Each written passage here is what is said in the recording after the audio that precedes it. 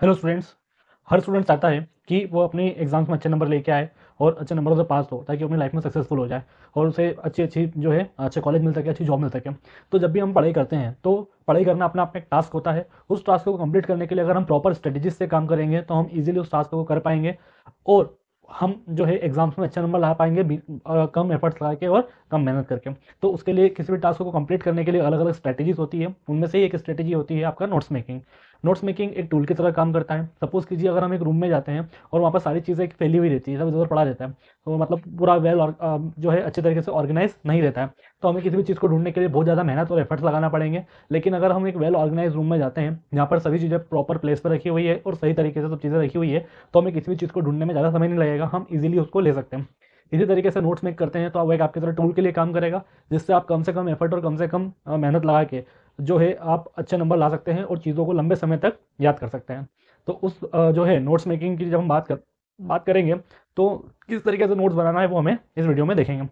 सबसे पहले हम देखते हैं कि हमें क्या क्या चीज़ की रिक्वायरमेंट होगी। सबसे पहले हमें जो है ब्लैंक पेपर्स चाहिए red pen black pen and blue pen इन सबकी हमको रिक्वायरमेंट रहेगी। अगर आप चाहें तो हाईलाइटर का भी यूज़ कर सकते हैं। देखिए, जब भी आप नोट्स बनाते हैं तो उसकी जो हेडिंग्स लिखते हैं, उनको आप हमें, उनको आपको हमेशा ब्लैक पेन से लिखना चाहिए। जो भी उसका डिस्क्रिप्शन आप लिख रहे हैं, जो भी उस टॉपिक के पर्टिकुलर बारे में आप लिख रहे हैं, उसे आप ब्लू पेन से लिखेगी लिखे कीजिए एवं अगर कुछ आ, कुछ बहुत इंपॉर्टेंट टॉपिक्स है सपोज़ कुछ फॉर्मूलाज है या कुछ इंपॉर्टेंट उस चैप्टर से रिलेटेड कुछ इंपॉर्टेंट चीज़ है तो उसको आप रेड पेन से हाईलाइट रेड पेन से लिख सकते हैं या फिर उस चीज़ को आप ब्लू पेन से लिख के हाईलाइट कर सकते हैं कि ये जो है इसमें सबसे मेन चीज़ है। और नोट्स आपको खुद के ही बनाना है क्योंकि आपको ही पता है कि आपको कौन सी चीज़ आती है और कौन सी चीज़ नहीं आती है। और नोट्स में सिर्फ़ आपको वो चीज़ देखना है जो आपको नहीं आती है जो आपको टफ पड़ रही है डिफ़िकल्ट पड़ रही है या जिसको आप वो चीज़ आपको याद नहीं हो रही है उसको ही आपको नोट्स में लिखना है। तो ये सारी चीज़ें आपकी हो जाती हैं जो जो आपको चाहिए ब्लैक पेन ब्लू पेन उसके बाद में हम बात करते हैं कि हमें किस तरीके से नोट्स बनाना है। हमें नोट्स बहुत ज़्यादा लेंदी है बल्कि नहीं बनाना है। अगर कुछ नोट्स बहुत ज़्यादा लेंदी होंगे तो हम पढ़ नहीं पाएँगे। तो उसके लिए हमें नोट्स को कंसाइज करना है। सिर्फ़ जो काम की बातें हैं, या फिर जैसे कुछ ऐसी लाइन रहती है कि अगर आप किसी भी टॉपिक के अंदर अगर एक वो लाइन समझ लेते हैं तो उसके ऊपर आप पूरा लिख सकते हैं। तो आपको सिर्फ़ जो इंपॉर्टेंट इंपॉर्टेंट टॉपिक्स है, जो इंपॉर्टेंट पॉइंट्स है, उसको लिखना है। उन सभी पॉइंट्स को आप बुलेट के फॉर्म में लिख सकते हैं पॉइंट वाइज लिख सकते हैं तो उससे ज़्यादा ईजी रहेगा।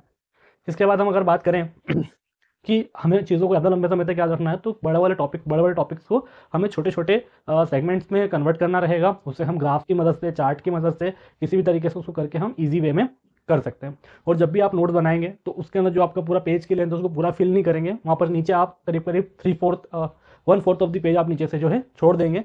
उससे क्या होगा कि अगर आपको इन फ्यूचर उस टॉपिक से रिलेटेड कुछ भी इन्फॉर्मेशन मिलती है, या आपको कुछ उसमें एडिशन करना रहता है तो आप उसमें लिख सकते हैं। Thank you for watching